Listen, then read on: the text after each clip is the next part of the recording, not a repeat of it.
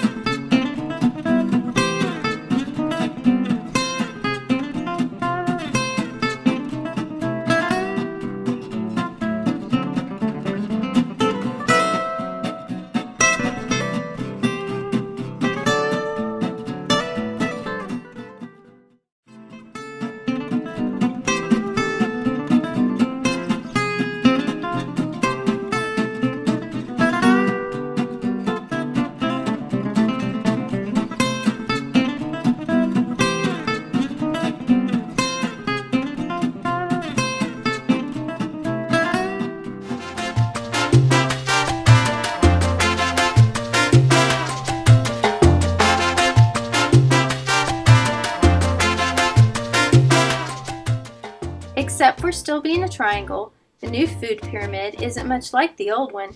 The old one was made of different sized blocks that stood for the different food groups.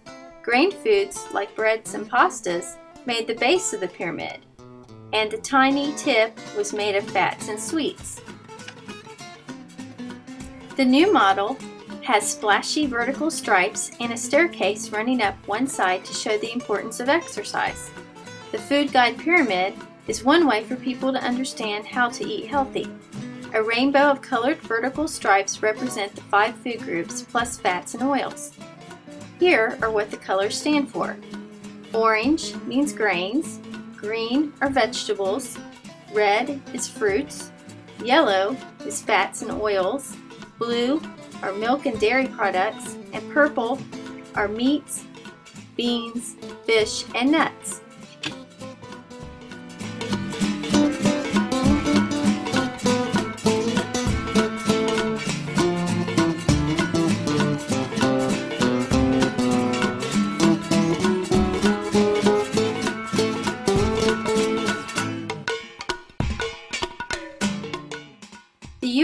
Department of Agriculture, or USDA, changed the pyramid in 2005 because they wanted to do a better job of telling Americans how to be healthy.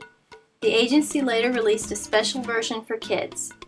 Notice the hiker climbing up the side of the new pyramid. That's a way of showing kids how important it is to exercise and be active every day. In other words, play a lot. The steps are also a way of saying that you can make changes little by little to be healthier. One step at a time. Get it? Let's look at some of the other messages the symbol is trying to send. Eat a variety of foods. A balanced diet is one that includes all the food groups. In other words, have foods from every color every day. Eat less of some foods and more of others. You can see that the bands for meat and protein, which are the purple ones, and oils, the yellow ones, are skinnier than others. That's because you need less of those kinds of foods than you need of fruits, vegetables, grains, and dairy foods. You can also see the bands start out wider and get thinner as they approach the top. That's designed to show you that not all foods are created equal, even within a healthy food group like fruit. For instance, apple pie would be in that thin part of the fruit band because it has a lot of added sugar and fat. A whole apple would be down in the wide part because you can eat more of those within a healthy diet.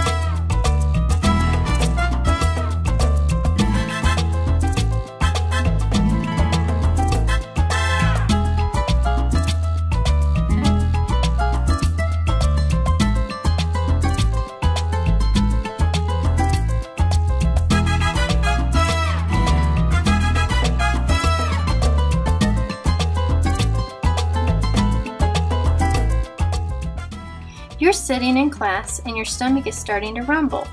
Finally, the bell rings and it's time for lunch. Woohoo!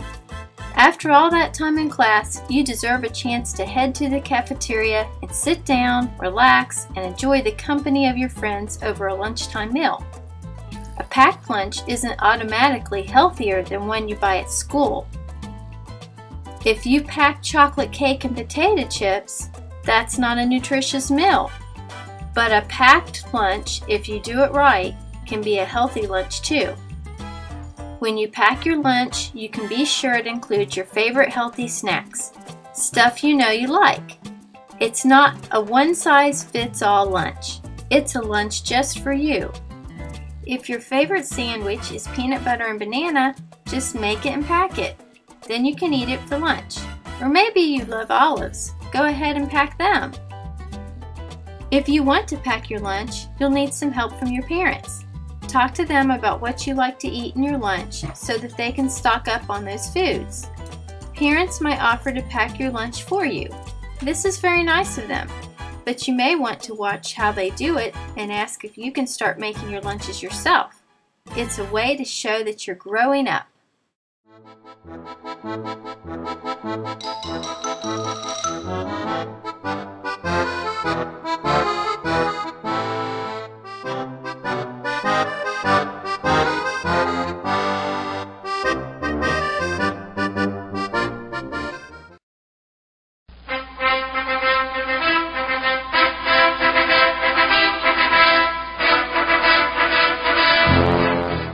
Kids exercise all the time without even thinking of it. Just being active, like when you run around outside or play kickball at school, is a kind of exercise. What else counts as exercise? Playing sports, dancing, doing push-ups, and even reaching down to touch your toes. When you exercise, you're helping build a strong body that will be able to move around and do all the stuff you need it to do. Try to be active every day and your body will thank you later. Another kind of exercise can help make your muscles stronger. Did you ever do a push-up or swing across the monkey bars at the playground? Those are exercises that can build strength. By using your muscles to do powerful things, you can make them stronger. Here are some exercises and activities to build strong muscles. Push-ups, pull-ups, tug-of-war, swimming, running, bike riding.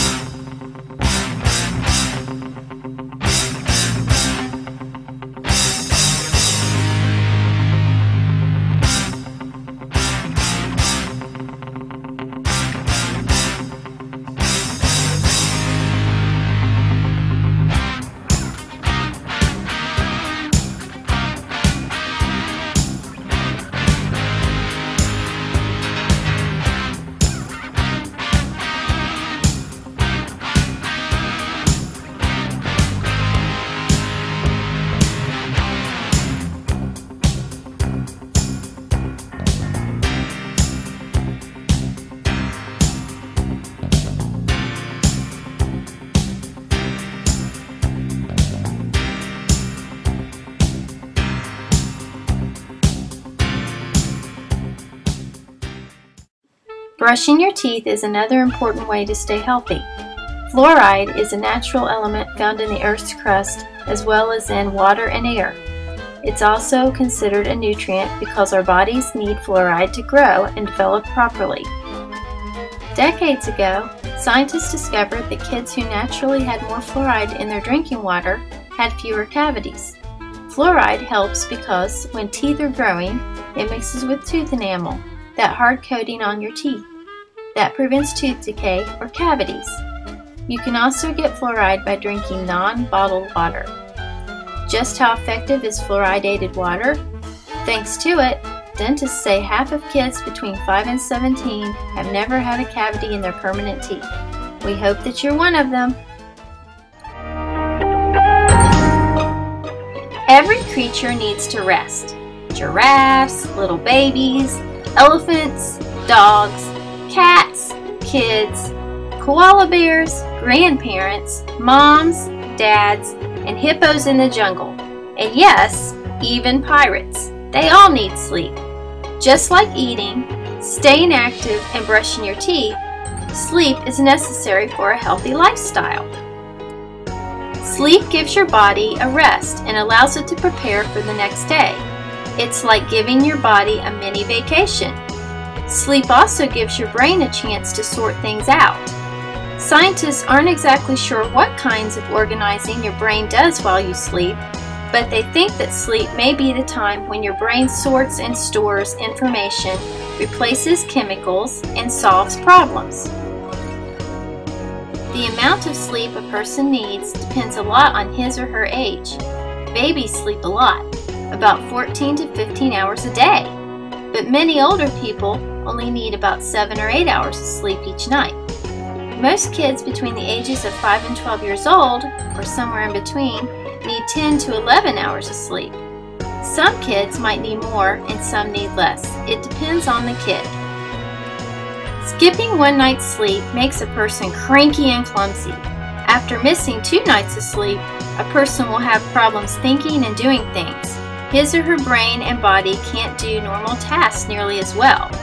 After five nights without sleep, a person hallucinates. This means they start seeing things that aren't actually there. Eventually, it becomes impossible for the brain to give its directions to the rest of the body without sleep. The brain needs to spend time in bed and catch its Z's.